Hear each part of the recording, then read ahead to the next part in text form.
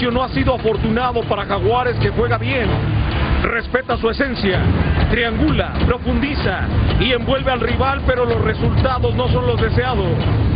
Los resultados no nos han acompañado, pero seguimos confiando en, que se está trabajando bien y, que, bueno, aún, tenemos tiempo para, poder eh, ganar.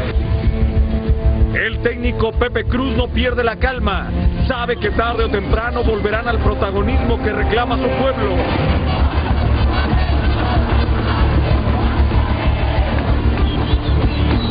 Porque Chiapas está diseñado para las alturas.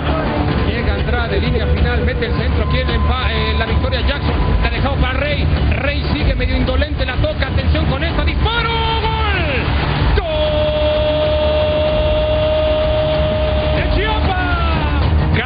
en cambio lucha por no volver a asfixiarse en las profundidades añora otra campaña como la anterior, las glorias pasadas que parecen no volver y el oxígeno que ahora necesita. La atención alemano, está dentro del área, el tiro.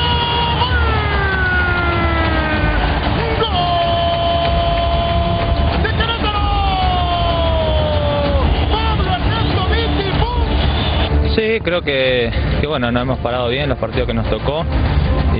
Pero bueno, ojalá que este no sea la sección. Tenemos, tenemos confianza en el equipo y que, que vamos a traer un buen resultado.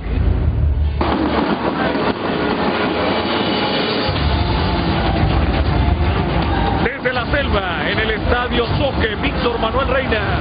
En transmisión exclusiva a través de Sky, Jaguares contra Querétaro.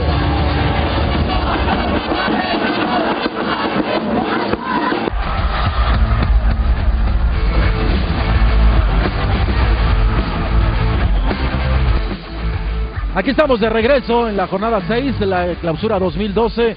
Mi buen tiburón. Chiapas que solamente tiene una victoria y es en casa contra las Chivas. Querétaro que también sufrió mucho para poder ligar su primer triunfo. Ya platicaremos de eso porque tenemos la alineación de los chiapanecos. Aparece Edgar Hernández, aparece Miguel Martínez en la defensa, Omar Flores, Gerardo Espinosa, George Corral aparece como titular, Yacer Corona, Luis Miguel Noriega, Jorge Rodríguez, Edgar Andrade, Luis Gabriel Rey y Jackson Martínez todos ellos comandados por el profe José Guadalupe Cruz. Dos, tres movimientos que hacen el once titular, el caso de Luis Noriega, el capitán técnico, la misión no es nada sencilla, y esto que tiene Jaguares, tarjeta roja a la ignorancia, señor Tiburón. ¿eh? Hay que leer, hay que agarrar los libros, mi estimado. Hay un porcentaje pues realmente sorprendente, ¿no? De... Y, no como Ernesto Coutinho que lo usa para nivelar las, las mesas de su casa. No, hay que leer, ¿no? Hay que agarrar los libros, un porcentaje alto de analfabetismo en nuestro país, así que siempre será importante tomar los, libros y empezar a, a cultivarse, a leer. Cuando vemos en este momento la banca del equipo de los jaguares de Chiapas, muy tranquilos, muy sonrientes. Allá vemos a Franco Arizala, este hombre que es Israel Villaseñor en la portería, en fin, Fuentes, Ruiz, Esqueda y Zamorano es la banca del equipo de los jaguares de Chiapas. Así es, ahí esperando la oportunidad y Esqueda que también lo vino utilizando, lo hizo contra Cruz Azul. Ahora prefiere el profe Cruz dar la oportunidad a Yacer Corona y aquí está la tripleta arbitral encabezadas por Francisco Chacón, Marco Quintero y Miguel Ángel Chúa es la triple.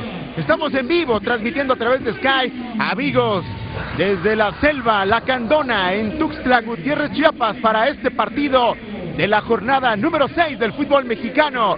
Los jaguares buscan ganar a como de lugar, pero no será nada fácil porque enfrente aparece el equipo de los Gallos Blancos de Querétaro. Querétaro dando a este inmueble. Señoras y señores, abróchense los cinturones porque la nave de la pasión está a punto de despegar, mueve Jaguares.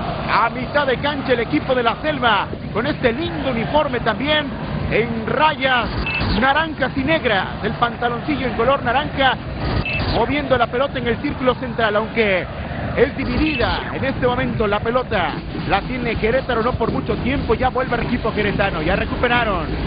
Los jaguares de Chiapas lo van a intentar por un costado. George Corral manda el servicio. Atención, está Rey adentro del área. Se da la media vuelta. ¡Ya gol! ¡Gol!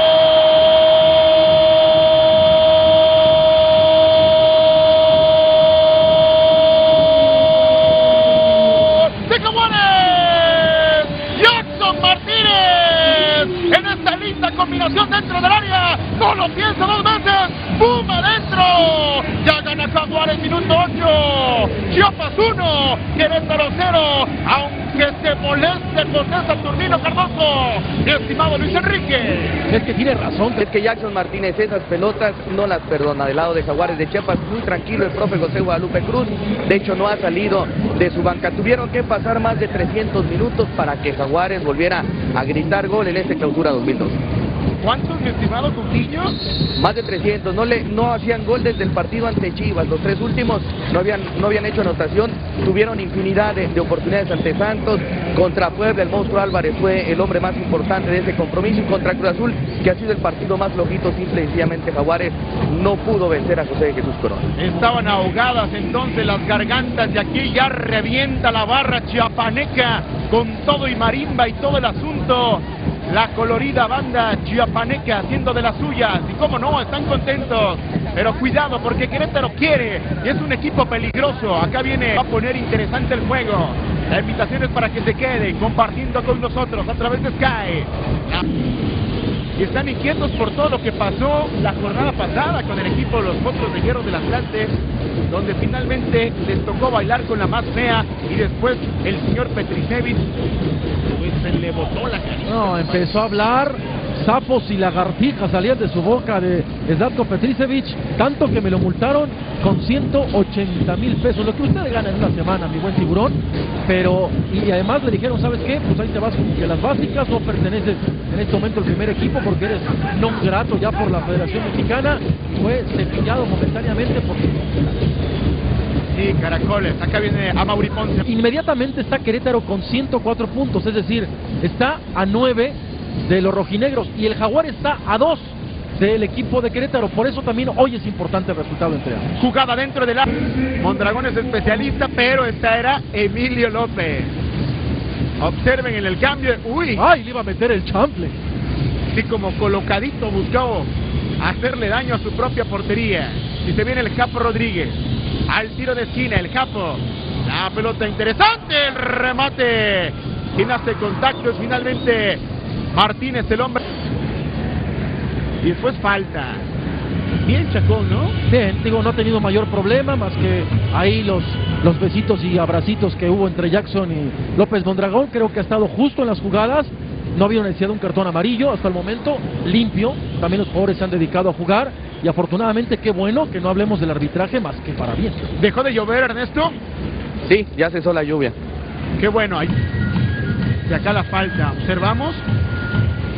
Peñón, Ay. banquito. Ay. Uy, Martínez. Ay, la dormilona en la cadera. ¿eh? Poquito más y es Martinete. Ay, Dios. Mira nada más. Sí, como no, es casi que un martinete. ya. Ah, la mano. La mano es ahí. Parece que. Ay, nanito. Donde se lleva. Pues todo el golpe, ¿no? La fuerza cae sobre su brazo, su mano. De Luis. Y el ajedrez humano mueve sus piezas, señoras y señores. Es la parte complementaria de el Jaguar contra el Gallo. Jornada 6 del Clausura 2012. Un gusto estar con ustedes en esta tarde fría en toda la República Mexicana. Ya vemos las circunstancias del clima también en Tuxtla Gutiérrez. Acostumbrados al calor, hoy masticando el frío y también la lluvia. Y aquí Querétaro saca un disparo iniciando prácticamente a los 30 segundos a Mauri Ponce, ex Chiva, que pasa muy, muy lejano, pero evidente. La camiseta naranja con rayas en color negro, se ve espectacular. Y el equipo de Querétaro a lo Inter de Milán. Está ligeramente adelantado, vean cómo queda votando. Isaac Romo llega, es una tijera y sale valiente Edgar Hernández porque ya se olía el peligro en el área chica del Jaguar. Y aquí, vamos a ver, toda la fuerza área chiapaneca está en el área. Cuatro o cinco jugadores, vean cómo marcan al Acapulco Flores. Ahí está también Yacer Corona, Miguel Martínez, viene el centro, la peinada, ¡palo! El balón extrae en el travesaño, se salva Querétaro. Todavía el equipo de Jaguares, el Japo Rodríguez, tratan de buscar la portería, el disparo de George Corral que pasa muy abierto. ¡Qué peinada! Yacer Corona sabe que tuvo el segundo, la repetición. Ahí gira la, la, la cabeza como un auténtico exorcista. Liborio no puede hacer nada, Ernesto Coutinho. El Jaguar estuvo a punto de poner el segundo zarpazo. Sí, otro aviso del conjunto de Jaguares de Chiapas en pelota parada, ya lo había hecho el negro Martínez en el primer tiempo, se ha salvado el Querétaro, ojalá que esta jugada revolucione y empiece a crecer este compromiso que se ha letargado en estos minutos. A balón parado, Tiburón llegó la aproximación y Querétaro debe de apretar. Sí, una buena jugada, bien planeada además de esas que se practican durante la semana.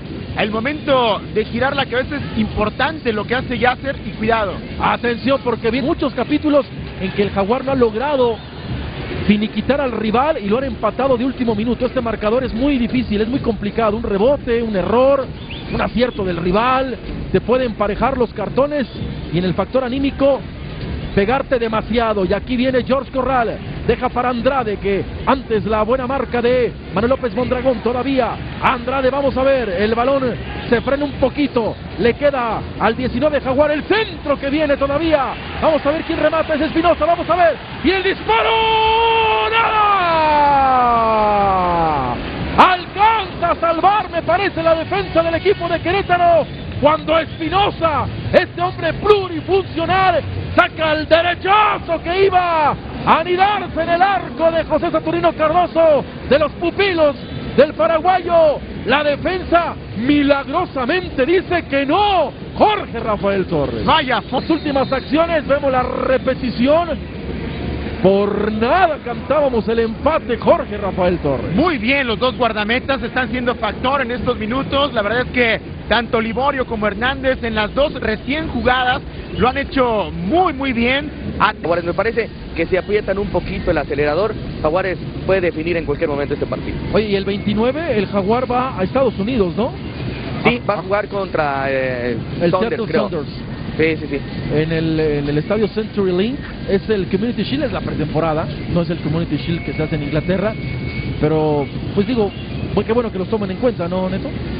Sí, y, y pocas veces ha ido Jaguares de Chiapas a Estados Unidos. 29 de febrero a las 7 de la noche va a jugar entonces en Seattle. Aquí cantamos el segundo gol. ¡Gol!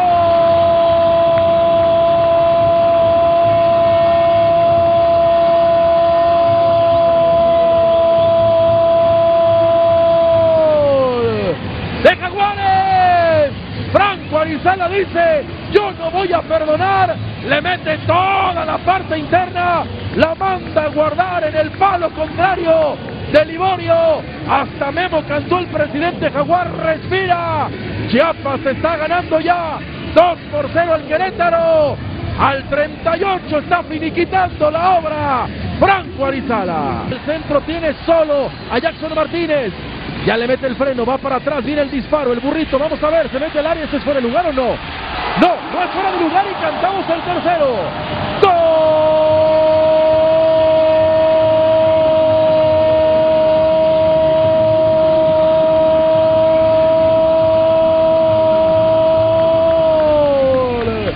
¡De Jaguares!